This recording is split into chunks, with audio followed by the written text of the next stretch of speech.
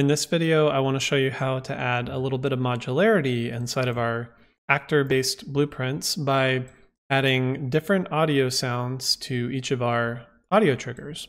So we know that we're triggering our actors correctly, but we want to actually play the sound. So what we could do, we could add an audio component to my blueprint audio trigger right here. So we want each one individually to have access to its audio, it's going to need an audio component. I'm going to add a component, audio, and we'll just leave that named at the default. Compile, save. And now we're going to go over to our viewport, and we can reposition this if we want. If we want this to be up higher, or um, I would I would put it around the middle because this is going to be modular, so we want it to come from in here.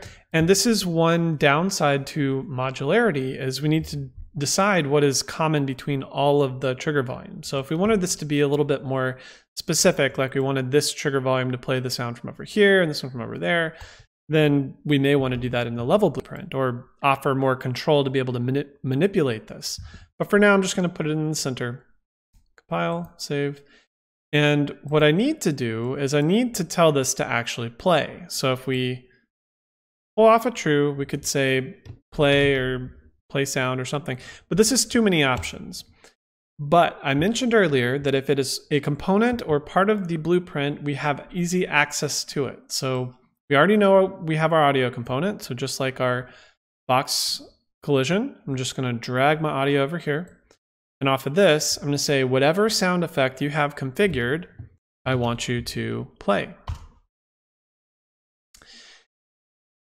So true, connect that. If it is the player, play the sound, then compile and save. So now, save it. We need to actually configure our audio component. Now we could do this here, right? We could do the settings over here. But we don't really need to because when we place this inside the level, I'm to close this out. We place an instance of our blueprint audio trigger in the level.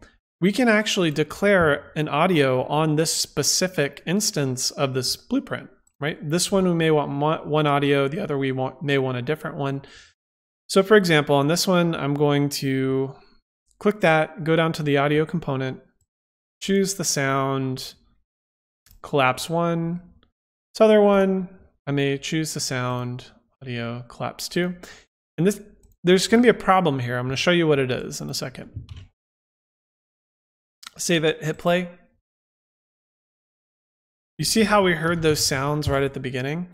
The problem is audio, very similar to particles, comes auto activated. So if we click this audio component and we scroll down, we may want some to auto activate and others not to. In this case, it's a trigger, so we don't really want that. And you know, maybe we could customize that in our blueprint if you want to get fancy.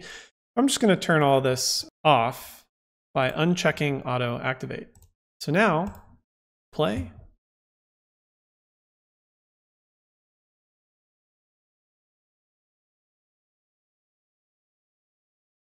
you see we can add some customization. Each one can be different, and I don't think this one was, uh, let's do um, something more noticeable. Yeah, there we go. Play.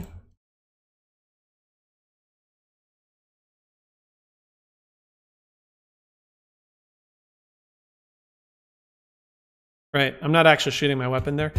Um, but we can have different audio triggers that still have their own functionality, but we're adding different sounds. And that's the power of components.